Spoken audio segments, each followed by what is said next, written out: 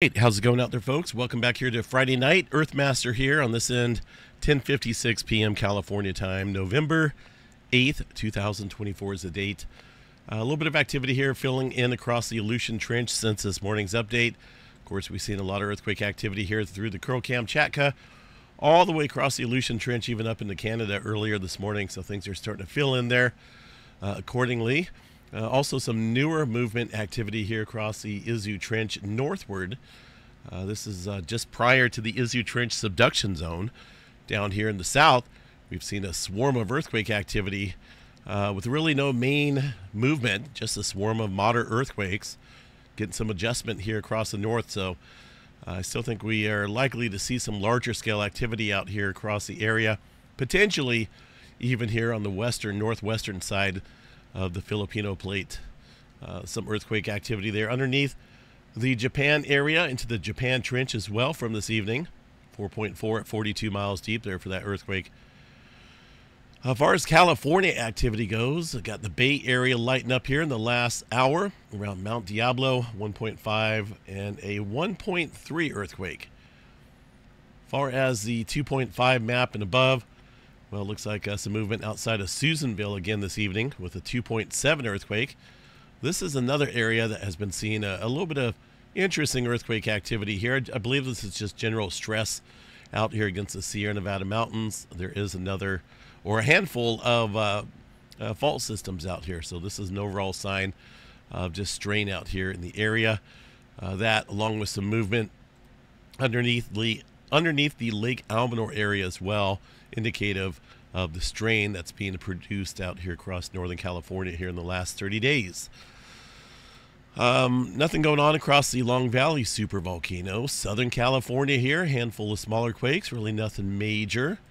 Uh, one earthquake out here in the Newport Inglewood fault. That's all we need is get that thing going. Um, 1.3 just a couple hours ago. Nothing major going on out here for now, just general microquake activity across the region.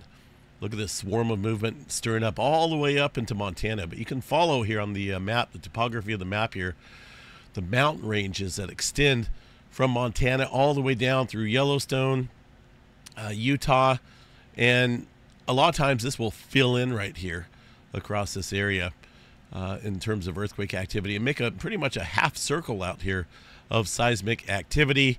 And of course, that is just a, uh, a general idea here that that could be uh, related to the strain out here across the west coast, even inland here across the area. A North American plate almost always underneath pressure.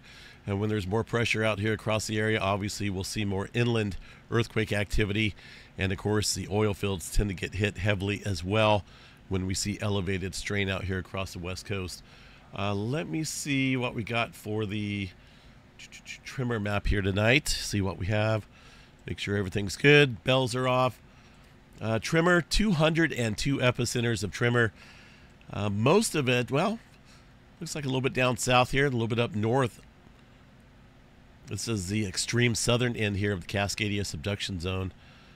Uh, so we'll watch for some further potential escalated activity out here across the southern end. This has been a hot spot of earthquake activity here recently, including a couple earthquakes there right around the uh, Cascadia uh, fold and thrust belt, and also one back prior to the subduction zone. So things are, uh, you know, they're doing their plate tectonic thing out here. Strain building up. Uh, Oklahoma area, Texas, oil fields getting hit. Nothing major going on. One earthquake out in the New Jersey area. This is the area that's seen some earthquake activity earlier this year. Some felt earthquakes there, and a swarm of earthquake activity following that event. But for now, a little 1.5 out there. So most of the movement, obviously, uh, across the northern edge here of the uh, Pacific Plate. Some newer adjustment taking place here across the Japan area southward. And it looks like we got some newer, uh, renewed activity here across the uh, Philippines area southward as well. Uh, New Zealand down here, they've been having a little bit of swarming activity. Let me see here. Let me bring this up and show you guys the movement. Uh, a handful of earthquakes. Well, I don't even know if this map's going to show it or not. I think I have to go here to the uh, EMSC model and check it out. If it's going to be working tonight. Let's take a look here and see. But uh, this activity is, well, looks like, uh, yeah, it's been over the last two days. It looks like 24 hours, one hour. A little bit of movement out here in a linear fashion. That's actually rather interesting here because uh, it's just leading off here into the Pacific, whether you want to look at it leading away from this area or maybe leading towards this area. And of course, those ridges out here are the result of a major subduction zone that sits out there called the Hikurangi subduction zone. And that's capable of producing a mega quake. And of course, they've had various um, underwater landslides out there as well. Um, definitely not what you want to see out here, but uh, it looks like, let's see here, there's a four pointer. 3.6. See, these aren't even really microquakes. These are a little bit above that level. And uh, another 3.5 as well from today. We'll continue to watch it. I mean, obviously, it is a, a, very tectonically active region. New Zealand is. It's got numerous types of fault systems here across the plate boundary. And uh, right now, kind of pointing towards this area of New Zealand. We'll definitely watch that. Uh, I didn't see a lot of earthquake activity there on the drums. Let's go see here real quick at least as far as local seismic activity goes. We could pick any number of these. There's a couple of the smaller quakes. Those look like distant quakes, so they're not local to this seismograph station here, but uh, more so um, offshore. I don't think it's that far offshore, but uh, anyway, uh, we'll definitely watch it. Uh, there's, you know, that's about all we can do right now. Uh, pretty much sits right about in this area think it's a little bit more closer to North Island than it is to the uh, Chatham Rise area. But uh, yeah, some interesting activity taking place there. Uh, let's see what else we got here for the uh, Earthquake 3D Globe. South America region, still seeing some twos and threes out there. Same for the Middle America Trench. Uh, definitely active. The Atlantic Ocean absent of earthquake activity here recently. Got the Mediterranean kicking back up.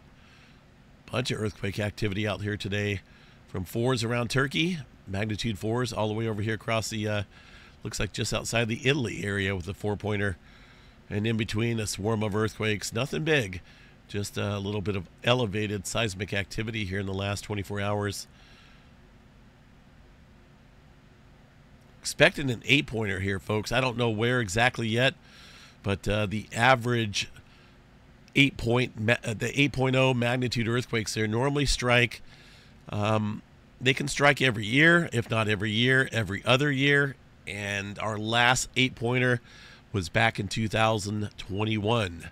So here we are, you know, three years coming up on maybe four years here soon, where we haven't had an 8.0 earthquake out here. Um, so that should be uh, should be coming up 8.0 or potentially larger out here if you look at the average intervals of earthquakes, you know, between these magnitudes here. Uh, we definitely should have seen an eight pointer out here. Uh, it could happen at any time. It could, could, be California, it could be New Zealand, it could be uh, Japan subduction zone, it could be South America. It could happen anywhere. All right, uh, let's see what else we got. Um, all right, space weather activity here. Not quite back to myself here, folks, but I'm I'm not coughing as much. I just still have a a little weird feeling in my voice box that's affecting my tones. Good thing I'm not a singer. That would not be good. But still, I'm using my voice right here on the microphone, so I got to make sure I am able to speak here. Uh, and the mic is not cutting out. Someone mentioned here that it sounds like the audio is cutting out. That's actually my voice cracking if I go for the higher notes. Uh, a little bit of uh, aurora activity right now coming up out of the blue. I don't think it was forecasted. They just recently added a G1 class storm on here. It wasn't forecasted. They did this following the arrival of some elevated aurora activity. Uh, so if you're out there across the northern re regions here, could see some roars. And I think that's mainly due to a couple coronal holes that have been facing the Earth and the tilt here of the BZ uh, component there of the interplanetary magnetic field that has allowed for the storming conditions here to uh, be somewhat elevated. Uh, but yeah, that wasn't really called for here. um, no major storms are in the forecast. We do have a number of sunspots out here. And let's take a look here at the uh, sunspot region that's currently facing the Earth. This one here looks like it's done for. We're getting a huge massive separation in that core. Same for this area. Back over here is about the only one of some significance in terms of value of solar flares. Uh, quite complex here within that sunspot area, and that's 3889. That's going to be the one to watch here for some stronger flaring, as we do have a remaining X flare threat here at 35 35% chance. Here, see, I lost it. 85% uh, chance for the M flare. C flare around 99% chance. We'll continue to keep an eye on those. And uh, far as what's coming around the bend on the far side of the sun, well, let's see here. There's 3889 on the eastern limb. That's the one I showed you guys. Even though it's here on the right side of the map, the sun is laid out on a flat scale model. So this is the earth facing side with the eastern limb technically over here, but it's split uh, the way it's laid out here. So this is the far side of the sun. Um, I don't see anything major coming right now, uh, but that doesn't mean we're not going to see some newer sunspots here pop up from uh, the area once it comes into Earth directed view. But uh, for now, keep an eye there on 3889. That does uh, look fairly um, impressive for some X flare activity. Um, National Hurricane Center, see what we have here for any hurricane activity on this Friday night. Rafael spinning out there, but also weakening at the same time. It is expected to weaken further here uh, across the Gulf area, Gulf of Mexico. And eventually, they're still showing taking a, a little southern turn here, uh, even weakening further into a tropical depression. No threat to land. And now the GFS model here shows it uh, down here in the Gulf of Mexico, potentially pulling up uh, or losing some of its steam from this low pressure that's tapping into that moisture. Let's put this into motion here and see what it's uh, given us. Yeah, it looks like it, it just gets shredded away the area of circulation still remains here in the Gulf, and I guess that's where it's going to dissipate. And um, yeah, so really no major threat there to the Gulf Coast states. California getting some broken up storms out here, but we're going to be dealing with some cooler weather, some snow um, there in the mountains. And I guess we'll have to see uh, what happens here. I'm kind of curious to see how this system plays out in the Northeast. That looks like a massive low pressure northeast nor'easter type storm. Could bring a bunch of snow out there across the area. Uh, we'll check that out as we get a little bit closer. That's just a massive, extremely low area of, of um, low pressure right there. 974 MB. That's crazy. So that could be a rather strong low pressure system with a lot of snow, depending on how much moisture it has to tap into here. All right, folks, I'm out of here Friday night. I'm going to call it a night. Um, we'll catch you guys back out here in the morning. Please stay safe out there and um, appreciate all the kind thoughts and the words here on uh, the wishes there for uh, better health. I mean, I, I never get sick out here, hardly ever. Uh, but this one's been lingering about eight days now. Uh, we'll see what happens. I mean, it's. Uh, I've tried a number of different home remedies. I might try some garlic. Someone mentioned here on the comments here to try some garlic. Uh, and that's something I haven't tried yet. I may try it though and see if that helps out. Either way, I'm getting better slowly but surely. I appreciate the uh, the positive vibes coming in here. We'll catch you guys out here in the morning for the uh, Saturday morning update. Stay safe out there, folks. Have a good night.